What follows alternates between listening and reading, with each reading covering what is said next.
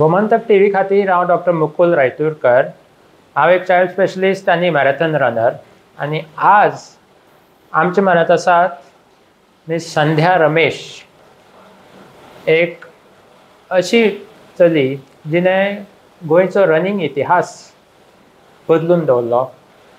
तिणें दादल्या परसय खूब फुडें पावली ती आनी स्वता वचून तिणें सावथ आफ्रिकेक जगांतली एक सगळ्यांत म्हत्वाची आनी कठीण अशी अल्ट्रा मॅरेथॉन णव्वद किलोमिटराची कॉम्रेड्स मॅरेथॉन धांवन आयली इतलेंच न्ही तर केनियन्सां बरोबर रावन हाय ऑल्टिट्यूड ट्रेनींग म्हणजे कितें म्हणटात तें तिणें अभ्यास केलो आनी एल्यूड किपचोगे जाका आमी गोट ऑफ रनिंग म्हणटात म्हणजे greatest of all time marathoner ताजे म्हाऱ्यांतूय वचून तिणें ताजो एडवायस घेतलो ताका मेळ्ळी तर welcome miss Sandhya Ramesh Thank you, and thank you for having me.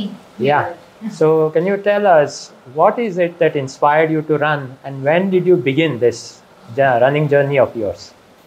Yes, so um, I was a track athlete uh, through my childhood. So one would find me more in the playgrounds than in the classroom, and more on the roads than in my home. Uh, so I used to also run the 100 meters, the 200 meters in school. I captained the throwball team. Uh, I played kho-kho. I also had a chance to uh, represent Jyotinivas India Academy under the captaincy of Mithali Raj, the erstwhile India women's team uh, captain. That's nice. And um, in you know sometime in the twenties, when I also started my working uh, career, I noticed that uh, one I had definitely gained weight. There was a lack of physical activity. To just the whole vitality, confidence, uh, you know, my mental health. There were so many aspects that I thought I did not have any other hobby or passion apart from work and coming home. And uh, it was that time in about uh, 2016 uh, that my sister Nisha Ramesh, who's a qualified chartered accountant, she was also mother of two. Uh, that time she had just finished her first full marathon. And uh, she told me, why don't you give endurance running a try? Being a track athlete, uh, you know, you don't think of anything more than 200 meters, even 400 meters seems very hard for you. Uh, but with her encouragement, I started running.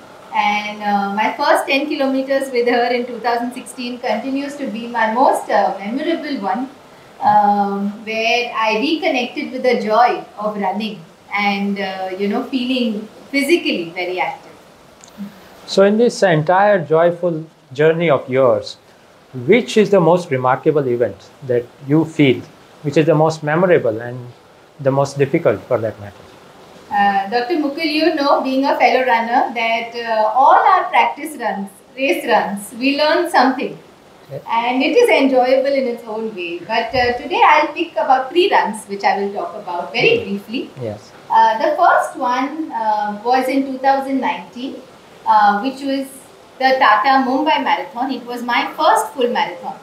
And um, unfortunately, I had a bacterial pulmonary infection just before the marathon. And two days before the marathon, I injured my big toe. Okay. Uh, before I underwent all of this, I had a goal saying that I want to finish a full marathon in less than 4 hours and 30 minutes. Um, and uh, despite these physical challenges, I was able to do that. That run also reinstated the importance of mental training and emotional stability for me, you know, and how it impacts performance. So, whether it is marathon running, whether it is life, whether it is career, right, whether it is family issues, I think the ability uh, to have, to be in that space where you are calm and you are able to have more control of the outcomes uh, is one, is it, it was one big learning for me from that run. The second one was also the Tata Mumbai Marathon, but this time I did not run the full marathon. I ran as an ally to a person with visual impairment. Uh, so this segment of Tata Mumbai Marathon uh, was hosted by Adventures Beyond Barriers Foundation. Uh, they are an NGO that supports disability inclusion. And uh, that time, uh, 2020 was for when I first ran as an ally for a person with visual impairment. I also ran in 2023 as an ally for a person with visual impairment. Both times I really enjoyed the experience. You know, we were talking, exchanging stories about our life, uh, about the barriers we face, and uh, we had a lot of fun completing that 10 kilometers. And uh, it really motivated me as a runner uh, to be able to be more empathetic and do my bit towards advancing disability inclusion in India. Uh, and the third one for me is the comrades. Uh, it, it, was, you know, it is, it continues to feel like a superhuman uh, effort and achievement both. Uh, and yeah, we'll talk more about it, I'm sure, in the segment ahead. yeah, so there is a humanist element to your entire sporting journey. And uh, tell me, how do you reconcile running with being? That how do you reconcile it with your day-to-day life? See, running um, honestly builds a lot of discipline, mm. right? I think that's the first thing as a runner you start noticing. It impacts your daily life choices, right from when do you wake up, what do you do immediately when you wake up, what do you put into your mouth every day, how many hours of sleep do you get, how often are you drinking water, so running, I feel it is not only about the sport or the joy, but it really impacts your everyday life and the choices that you make in your life. Uh, I think the other thing about endurance running in specific is yes, it does build a lot of physical endurance. So you will notice that you have more energy throughout the day compared to a lot of your peers sometimes, or compared to a lot of people who do not, you know, do daily sport and activity but it also builds a lot of mental and emotional endurance. Um, and I believe that uh, all of us are, have life challenges, whether we are runners or not. Uh, there are family issues, there are deadlines in careers, there is pressure of revenue, there is pressure to deliver better every day. So, our ability to also emotionally and mentally handle, uh, so the resilience that one builds I believe actually compounds with a sport like endurance running. Yes, so running tends to empower you physically, mentally, as well as can say spiritually, right? I would add one more, Dr. Mukul, yeah. and that is socially. Yeah, excellent. So if you had to take our running group, the ballistic runners, uh, you know, you will see that so many of our friends we can lean on be it during my preparation for the comrades, I had runners coming out as early as 4 a.m., uh, staying back as late as 12 p.m. during days in the Goan summers. You know, we know how hot it gets, uh, but coming with me on the bike, giving me water. Uh, so it also builds a very strong support network and a support system for you. And I think, uh, yes, most of my great friends come from the running circles that I have been part of. So, as you said, Comrades, which is one of the toughest ultramarathons in the world and one of the oldest, has been a remarkable experience. In, so, what would you like to say about Comrades Marathon? Your running, how it changed you? Uh, as a person who is attempting it for the first time, yes, I had only two objectives. One is to get to that start line injury free, and the second was to finish the race. So if you are uh, competing for the comrades in the first time, these can be your only two objectives. Now let's talk about getting to the start line injury free. Uh, there were three big important factors that I believe contributed to that. Uh, the first one being my coach, uh, Coach Daniel Vaz, in fact, gave me my training plan uh, for the comrades and he supported me uh, you know, he modified my running plan based on how I was feeling. Sometimes I also uh, I also felt ill in between. So, you know, how do you ensure that you're able to still pick up mileage after resting your body and recovering fully? He, he nudged me to do the 65 kilometers ultra in Kalimpong, uh, which is also at a high altitude and lots of hills, and that was a game changer. The second was ability to say no. You need to say no to many things, whether it is gatherings, family events, uh, you know, sometimes anything that may disrupt your running plan or your sleep. Uh, so second, I would say is, you know, being able to say no a few times. And lastly, to be able to say no, you need the support of your family, friends, your neighbors. uh, you know, your running community, people who understand that this goal is important for you, right? And who support you in achieving that goal. So for me, these three elements were very important when it came to starting the race injury free and doing my training very well. Yeah. I think when I talk about being at the start line, uh, it is, you know, there are 20,000 runners from across countries. We had uh, almost 400 plus runners from India. Um, and you start feeling positive and energetic. The 30th kilometer, I felt like quitting. You know, I was thinking, oh God, another 58 kilometers, who's going to run? It seems so far. You know, and that thought came into my mind. And uh, in about a few minutes, I started rationalizing that thought, saying, Why am I feeling that way? Uh, you know, I could feel the energy. The, there was live tracking on the app, so I could feel my friends and family somewhere trying to connect with me, supporting me. I asked myself if I'm tired, if I'm physically actually not feeling capable of running, but it was none of that. And as soon as I became aware that it was just that the goal seemed so big and that was overwhelming me, I immediately shifted my mindset. And I said, I'm not going to quit. If somebody needs to take me off this race, they need to like carry me out of the road, and that's the only way I'm going to stop the race. So I think that was the second, um, you know, for the marathon, the biggest philosophy is don't stop. Keep going, keep going, break it down. We need to control everything that goes on between our ears for 12 hours and uh, you know you will be able to achieve a lot of extraordinary things. Yes sandhya you are not only the first runner from goa to complete the comrades marathon you are also the first to go to kenya and study the high altitude training of the world champions. So would you like to tell us something about that?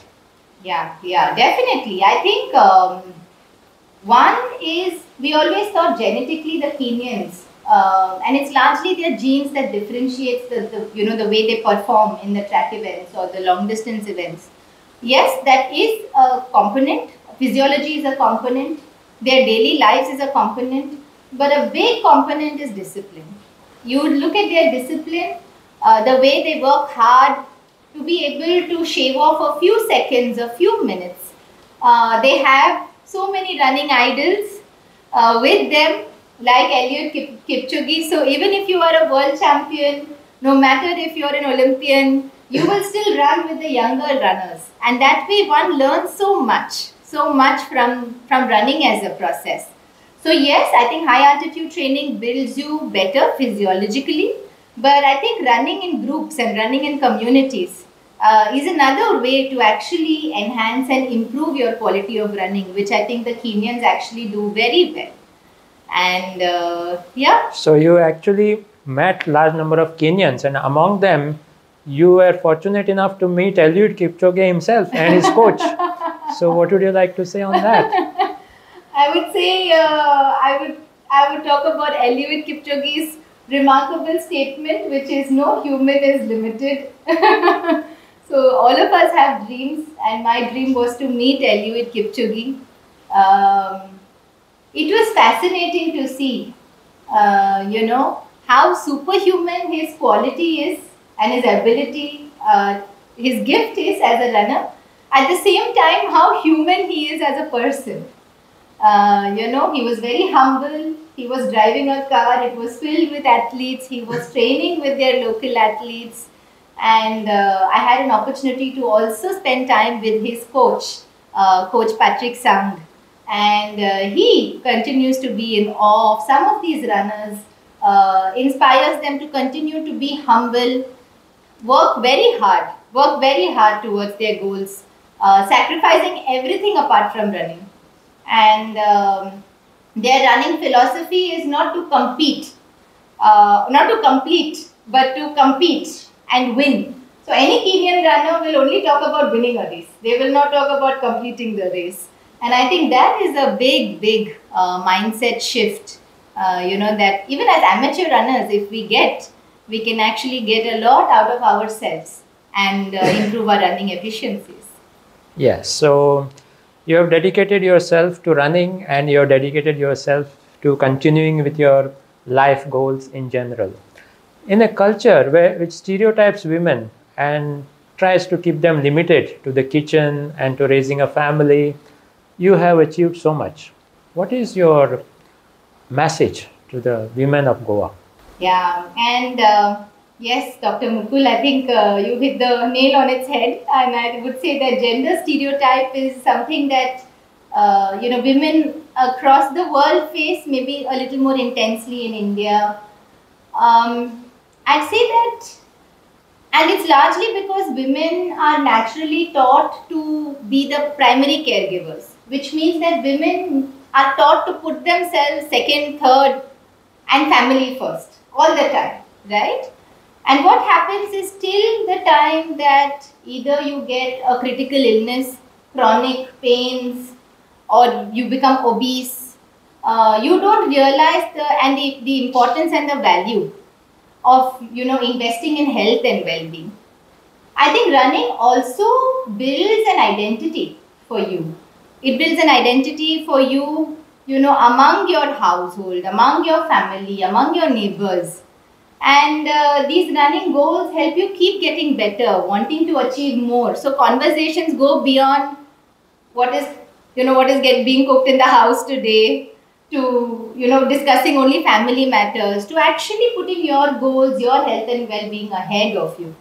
So in Goa, I know we famously close most of our conversations by saying Moga Su. Yeah, and it's really saying that uh, promote self, promote love and positivity. I would, you know, my message to all women would be promote self-love. So start with loving yourself. Uh, by proactively working on your health and well-being, you will be able to uh, not only lead a more healthy life, but also a happier. So Sandhya has actually gone ahead and outrun the men in the Goan community and achieved something that has not even been achieved by men runners. What would you say to that? Yeah, I think the Comrades Marathon does not differentiate if you're a man or woman, you need to finish in 12 hours. Uh, so I think running that way is a huge leveler. Yeah. And I'm hoping that while I have been the first to represent the state, that 2024 is going to be a great year where we are going to have a lot more men and women actually participate and compete in the Comrades Ultra Marathon. So it has been very nice to interact with you. It's a great opportunity for all the women of Goa to interact with an athlete who has broken all stereotypes and has led the path to fitness. Thank you. Thank you. Thank you for having me. Thank you.